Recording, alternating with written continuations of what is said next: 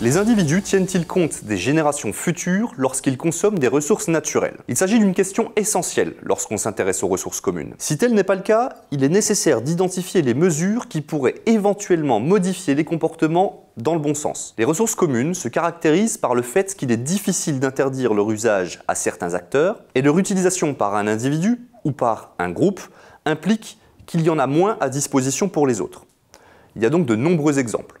Stock de poissons, d'arbres, d'air pur ou encore d'eau potable. Pour répondre à cette question de recherche, une expérience a été menée simultanément dans 11 villes françaises avec un total de 2724 participants. Au cours de cette expérience, les participants se sont succédés par vagues, appelées générations, pour prélever une quantité de ressources naturelles de leur choix, se régénérant à une vitesse plus ou moins rapide en fonction du type de ressources. Chaque unité de ressources prélevée leur donnait une chance de gagner une carte cadeau d'une valeur de 10 euros. Les participants étaient informés que d'autres générations pouvaient leur succéder afin de prélever la même ressource, sous réserve que la ressource n'ait pas été détruite. Les joueurs ne pouvaient toutefois pas deviner leur génération, puisque celle-ci était déterminée au hasard à la suite de l'expérience. Afin d'étudier le comportement des joueurs, une variation de plusieurs paramètres a été introduite, en particulier sur le taux de régénération de la ressource naturelle, l'information dont disposent les participants sur le taux de régénération, ainsi que l'échelle à laquelle la ressource est prélevée.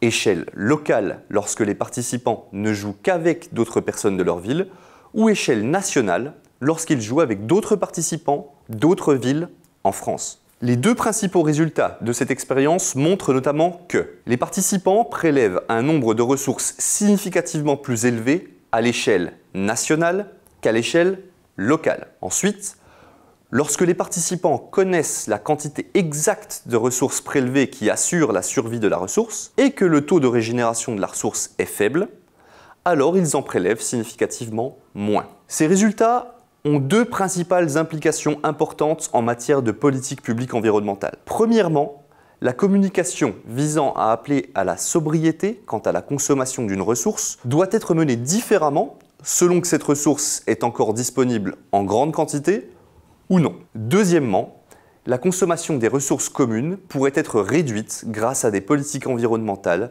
visant à partager les ressources communes à de plus petites échelles.